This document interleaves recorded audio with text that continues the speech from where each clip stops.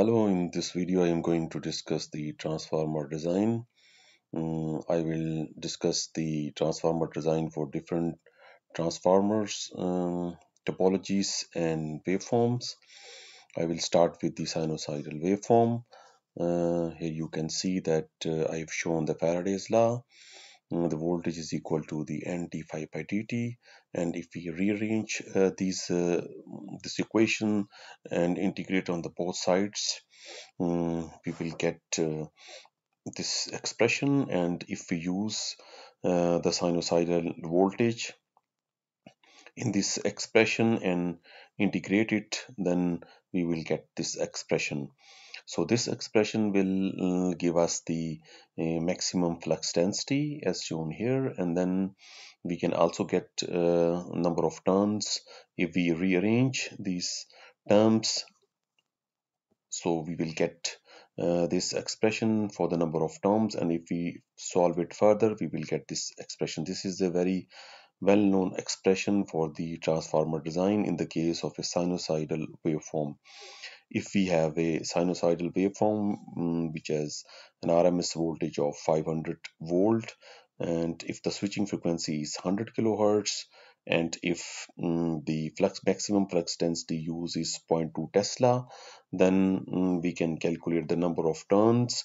Uh, the we also require uh, the area of the core the cross section area of the core and if we have this cross section area of the core then we will get the number of turns from the for the primary if this voltage is primary voltage and you can also get the number of turns for the secondary voltage. If you have 200 volt for example then uh, for example 250 volt then you will get the half of approximately the 40 number of turns.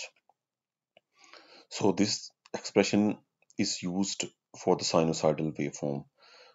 Now if we have uh, another waveform um, like uh, a square wave or rectangular wave then we can again use this Faraday's law. Uh, the voltage is equal to n delta phi by delta t. And if we choose uh, if we put the value of delta phi as delta b ae this cross section area of the core then um, we will get this expression.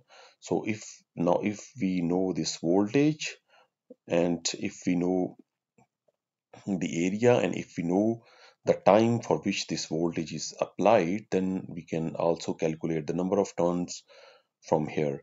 For example if we have uh, if the voltage v is applied for a time 0.5 of t t is the time period.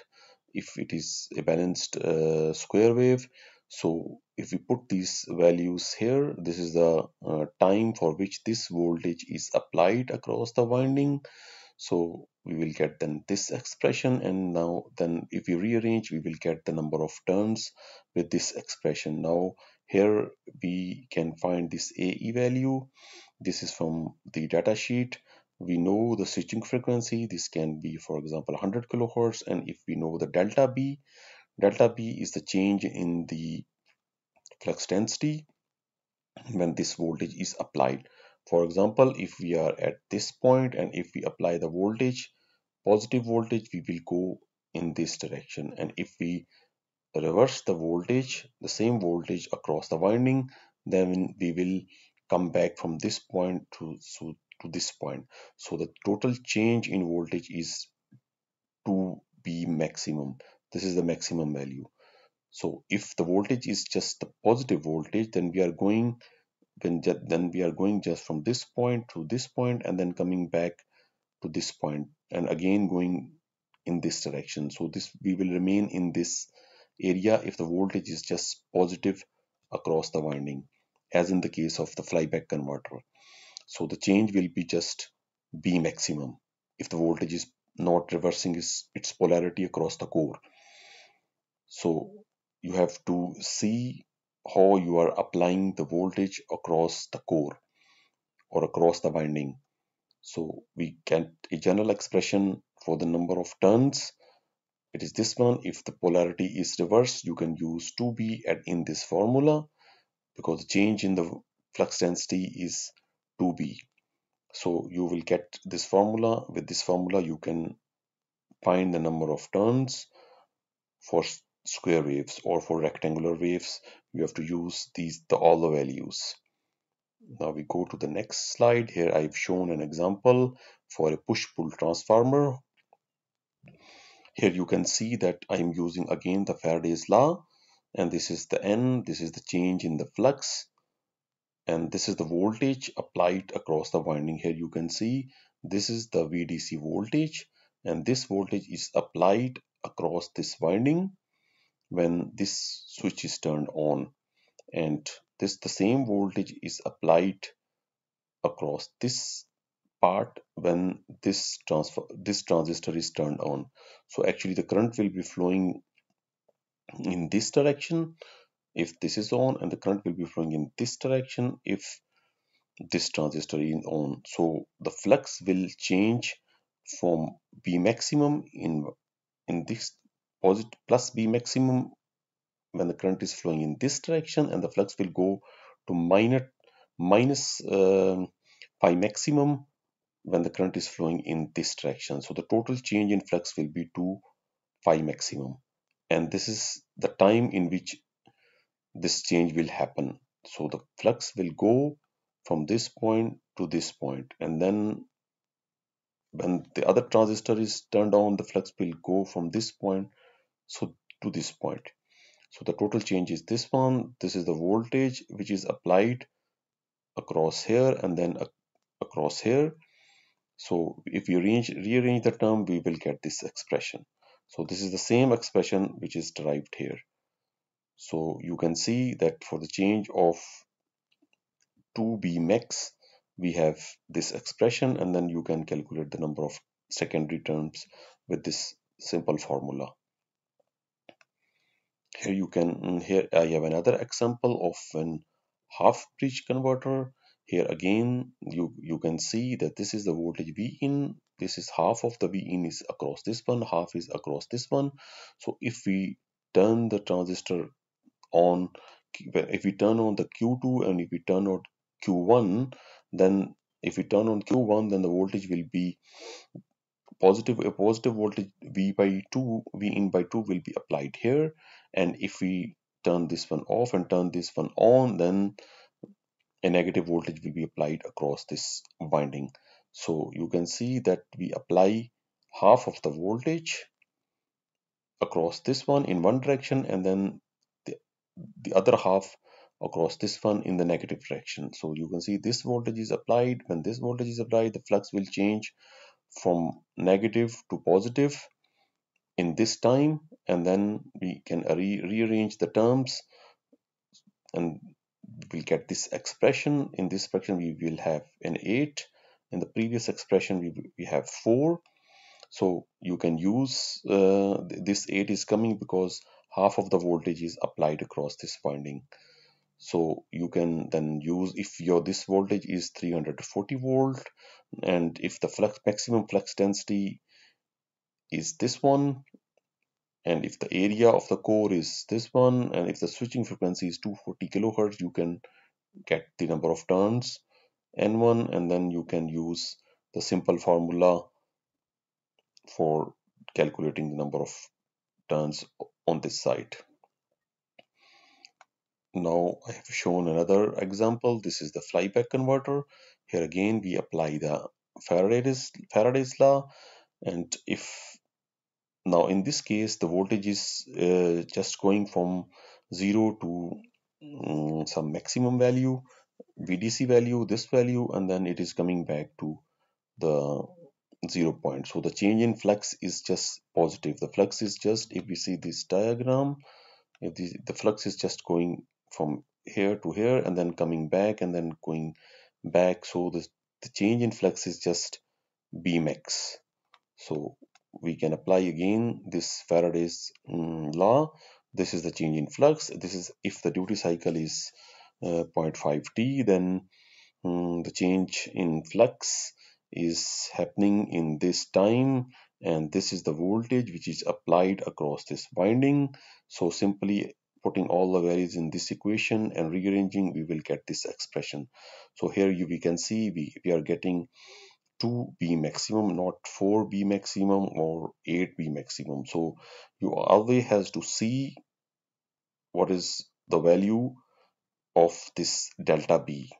So this is the delta b. Here we have delta b just b maximum.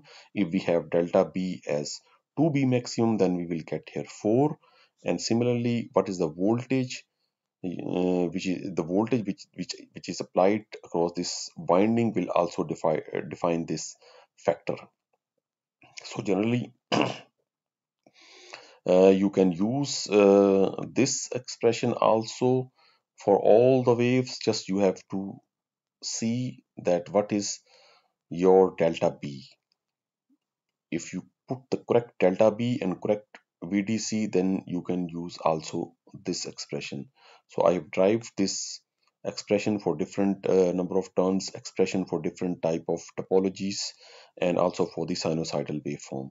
Now i will discuss how to select the b maximum value. Here is the graph which is given in the tdk datasheet it is uh, known as the performance factor versus frequency curve. This is the frequency axis. This is this product here. This is called the performance factor and it it is drawn for different type of cores and uh, I use usually N87 for my frequencies 100 kilohertz or 300 kilohertz so you can see if I use 100 kilohertz then you can read the value from here it is approximately uh, 0.185 Tesla so you have to read this value and then divide it by this frequency. You will get 0.185 Tesla for 100 kilohertz for N87 um, core. Similarly, if you have a 250 kilohertz frequency somewhere here, you can see that it is it will be uh, uh, 0.2 again Tesla. If we divide 250 with the 250, uh, then you will get 0.2 Tesla. So we can use these values as our B maximum. This curve is drawn for this uh, power loss density.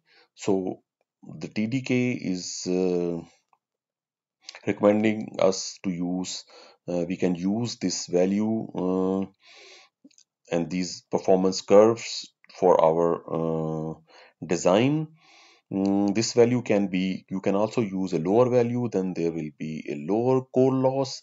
But the problem is then you will have mere winding loss where copper loss and then it is better to design the transformer where that so that the winding loss and the core loss are the same they have the same value uh, for the nominal load.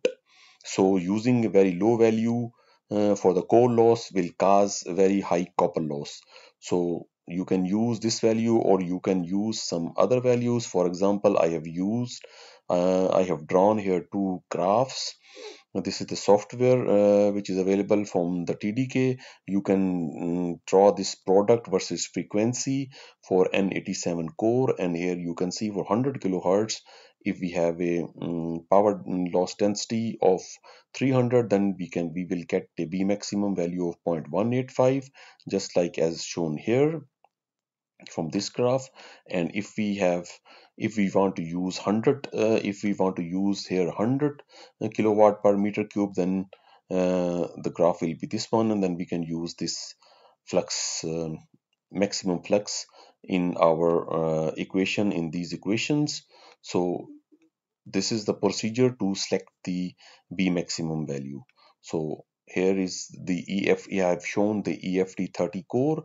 Uh, here you can see the cross sectional area. If you have selected this core with the area product then you can use this expression this value in your uh, number of turns calculations and then you can use this volume to calculate the temperature rise. Here uh, for the N87 core um, it is saying that uh, at 100 kilohertz if we use uh, this flux density then we will have a power loss of 2.6 watt.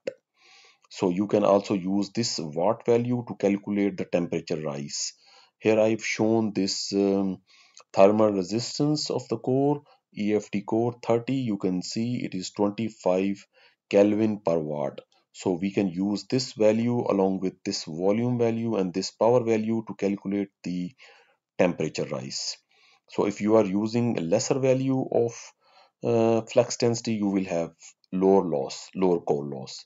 So here I've shown this thermal um, resistance of the EFD core which we have taken from here. And then uh, this is the 300 kilowatt per meter cube uh, power loss density uh, which is uh, for this curve for this curve or for this curve uh, this one so you can use this uh, value and multiply it this with the volume of the core here and then you will get the total core loss. So the total core loss if we use the flux density this flux density then it will be this one. And if we multiply this value with this thermal resistance then you can see the temperature rise of the core. So in this way you can use um, these uh, you can these uh, these calculation uh, to find out uh, the total temperature rise you can use this 2 milli tesla. If we use this value uh, 2.6 watt here here and then if you multiply it by this one then you will get a little bit higher value. So you can use this value also or this value depending upon but uh, it is recommended to use this value in the TDK datasheet mm, so this is uh, all about the transformer design I have not uh, here mentioned the uh, how to um, calculate the uh, size of the core Mm, this we will discuss in the next video when I discuss the area product calculations. Thank you.